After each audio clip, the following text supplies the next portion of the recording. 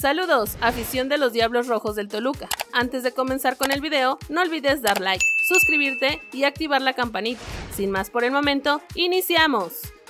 Pumas vs Toluca Copa Sky en vivo, donde ver el partido, hora y canales de transmisión. La Copa del Mundo de Qatar 2022 está por llegar a su fin. En las próximas horas y días se vivirán los duelos correspondientes a las semifinales del torneo, por lo que el momento de conocer al nuevo o bicampeón del mundo está cada vez más cerca. Así como el Mundial está por finalizar, el regreso de la Liga MX también lo está. Con motivo del torneo mundialista, el calendario del torneo de primera división fue modificado para que a estas alturas ya no hubiera competencias oficiales. Por lo tanto, la siguiente competencia que se disputará en el fútbol mexicano será el torneo Clausura 2023, es decir, hasta el próximo año. Pero eso no quiere decir que los equipos se vayan a quedar sin actividad, pues como es costumbre buscan partidos de preparación. Pero ahora a los directivos se les ocurrió hacer otro torneo amistoso que sirva de pretemporada para las distintas escuadras, con fines económicos, obviamente. Dos de esos equipos que disputarán dicha competencia son los Pumas de la UNAM y el Deportivo Toluca. Regresa la Copa por México con la edición 2022 y toca el turno para que Pumas y Toluca se presenten en el torneo de pretemporada. Para los universitarios será el primer partido bajo las órdenes de su nuevo director técnico Rafael Puente, quien sustituyó en el banquillo al argentino Andrés Girini. Los Diablos Rojos, por otra parte, comienzan su preparación rumbo al clausura 2023, semestre en el que buscan regresar a la serie por el título del fútbol mexicano. Los equipos del fútbol poco a poco comienzan a regresar a la actividad, por lo menos a la de la pretemporada. El partido entre los Pumas de la UNAM y el Toluca está programado para que se lleve a cabo este martes 13 de diciembre del 2022 a las 7 horas, tiempo del centro de la Ciudad de México. La transmisión por TUD. Para poder ver el duelo en la programación abierta, se tendrá que poner el canal 9 de tele abierta. Sumado a eso, también irá por la TV de paga, en la señal de TUDN y Sky Sports.